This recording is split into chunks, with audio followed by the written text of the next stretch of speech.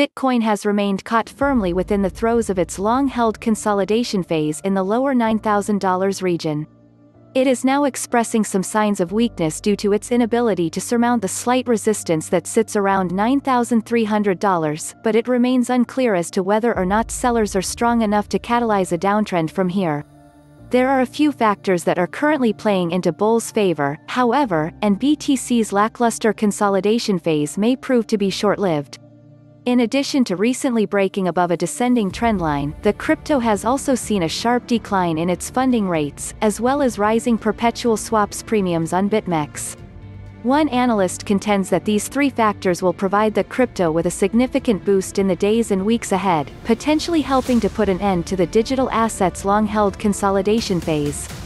The next movement seen by BTC is likely to be quite large as well, as there is currently close to $3.3 billion in aggregated open interest for the crypto across all the major trading platforms.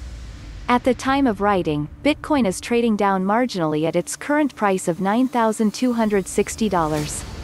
This is around where it has been trading throughout the past several days and weeks. It does appear that it is losing its strength as it continues trading around its current price level, as bulls have faced multiple rejections at $9,300 over the past day. If they are unable to garner enough buying pressure to shatter the slight resistance sitting at this level, it could be a sign that a significant price decline is imminent. One factor that could suggest that the next movement Bitcoin makes will be massive is its rising open interest. Across all platforms, there is currently close to $3.3 billion in OI, which will act as kindling to fuel the next move. One analyst spoke about this in a recent tweet, saying, There appear to be three primary factors that are currently working against bears that could provide Bitcoin with some lift in the days and weeks ahead.